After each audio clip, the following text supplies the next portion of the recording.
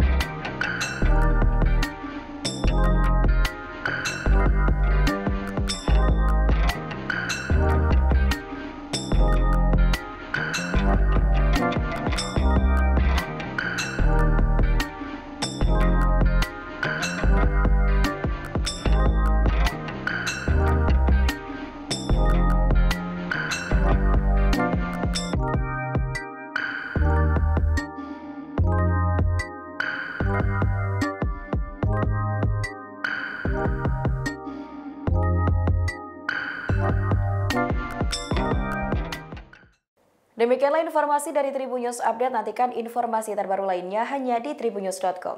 Terima kasih sudah nonton. Jangan lupa like, subscribe, dan share ya.